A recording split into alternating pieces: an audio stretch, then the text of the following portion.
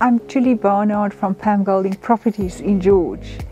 Uh, we are viewing a home on the eastern side of George in the lovely neighborhood Denver Park. Very private, very tranquil.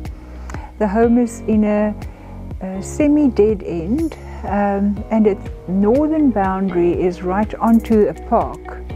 So it's a dream home for children because apart from having a lovely big walled garden with tall trees, you have a small gate into the adjacent park.